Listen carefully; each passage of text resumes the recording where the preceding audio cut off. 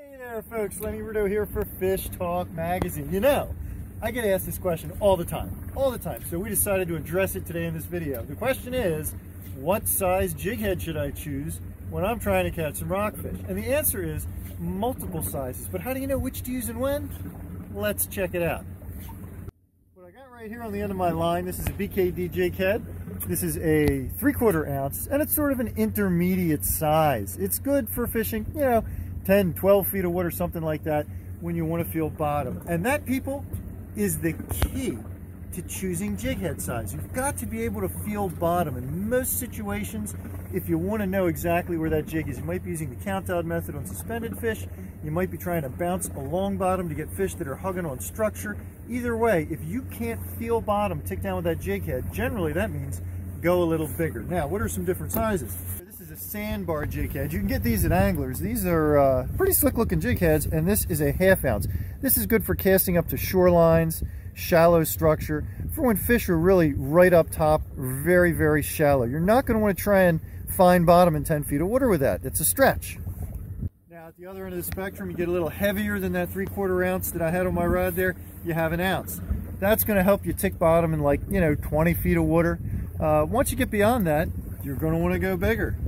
Ounce and a half, you might even want two ounces. It all depends on how much wind there is, how much current there is. But remember, remember, you want to be able to feel bottom. But there's more. You ready for this? I love this. This is so cool. Oh my, oh my, look at this. This is what I call a jig selection, Mike. Definitely. And, and what kind are these right here? Those are all GI jigs. I got half to 5 eighths in different various colors as you can see. Wow, those things are beautiful. Now, let me ask you something. Aside from weight, now we are we already talked about this, of course, folks. You know, so I know you know Mike and I are on the same page with choosing your jig head by weight. But other than that, are there any other factors you like to take into consideration? Color, color, color. contrast is my go-to. Always want to have a color contrast between your bait and your head. I'm on the same page once again. Color contrast is a good thing. So I might grab this head if I had, say, a blacktail or a purple in really low light, or if I had a whitetail, I might grab one like this here.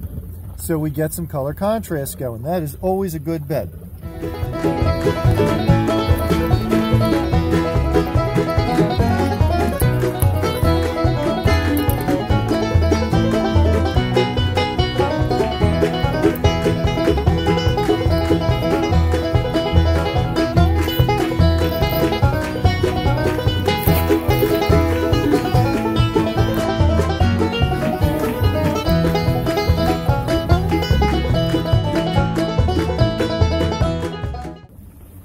Well, folks, I hope that helps you figure out exactly what size jig head to tie on next time, but it probably won't. You're probably going to have to make a cast, wait for that jig to touch down, and feel it. You got to feel that, think there it is on bottom, and then I can work it along, and I know I'm using at least about the right size.